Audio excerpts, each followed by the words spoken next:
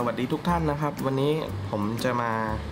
รีวิวตัว c h u w i HI8 นะครับแท็บเล็ต2 OS ในเครื่องเดียวครับตัวนี้เป็นแท็บเล็ตขนาด 8 นิ้วนะครับ มี 2 OS เลยก็เป็น Windows 10 กับ Android 4.4 นะครับ อันนี้เดี๋ยวตัวเครื่องเดี๋ยวเราจะมาพูดกันทีหลังเดี๋ยว เรามาดูอุปกรณ์ที่ให้มาภายในกล่องกันก่อนดีกว่านะครับก็จะแพ็กเกจมาแบบนี้เลยนะครับ เรียบร้อยดีเลยครับอันแรกครับก็เป็นตัวอะแดปเตอร์นะครับอะแดปเตอร์ชาร์จไฟก็ตัวนี้ มาเป็นทรงหลังเต่าแบบนี้ครับ สวยงามเลยครับนี่ครับแล้วก็ตัวต่อไปที่ให้มาจะเป็นสายmicro USB แล้วก็สาย OTG นะครับ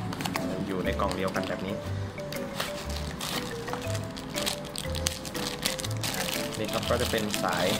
micro USB ตอนนี้ก็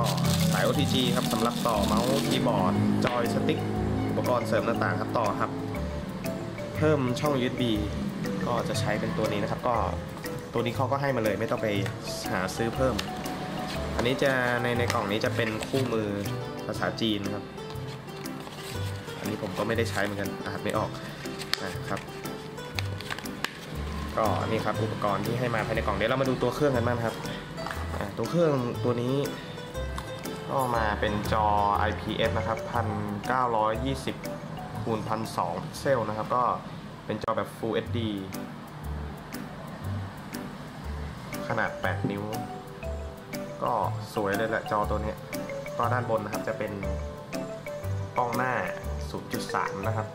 ที่มีเซ็นเซอร์อยู่ด้านข้าง แล้วก็ด้านล่างก็จะเป็นโลโก้ของ Windows นะครับทีนี้มาดูด้านหลังกันบ้าง ก็ด้านหลังก็จะมีเป็นกล้องหลังครับ2ล้านโลโก้ Chuwi ด้านล่างก็จะเป็นโลโก้ Intel แล้วก็รุ่นนะครับ ตรงนี้จะเป็นลำโพงครับเสียงดังพอใช้ได้เลยก็มาดูด้านบนครับ ด้านบนก็จะมีเป็นช่องเสียบหูฟังแล้วก็ไมโคร USB นะครับทีนี้มาดูกันข้างนี้ จะเป็นปุ่ม power แล้วก็เพิ่มเสียงลดเสียง ตรงนี้จะเป็นช่องใส่ SD card ด้านล่างก็จะมีนี่ครับรูไมโครโฟน อยู่ตรงนี้ ด้านหนึ่งก็จะไม่มีอะไรก็เป็นแบบนี้นะครับ ตัวขอบนี่จะเป็นอลูมิเนียมรู้สึกดีเลย แล้วก็ ตัวฝาตัวเครื่องนะครับจะเป็นพลาสติก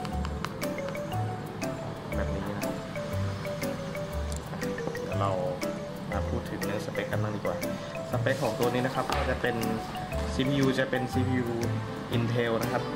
Z3736F นะครับสปีดคอปก็จะอยู่ที่ 2.16 GHz ครับ ตัว GPU จะเป็น Intel Graphic Gen 7 นะครับ แล้วก็ตัวความจำเครื่องนี่จะเป็นแบบ eMMC 32 g b 32 g b นี่ก็ จะต้องแบ่งฝั่ง Android กับ Windows ครับ เป็น partition แบบแยกขาดเลยก็คือไม่ไม่ไม่ได้ใช้รวมกันครับก็น้ำหนักก็ถือว่าโอเคครับ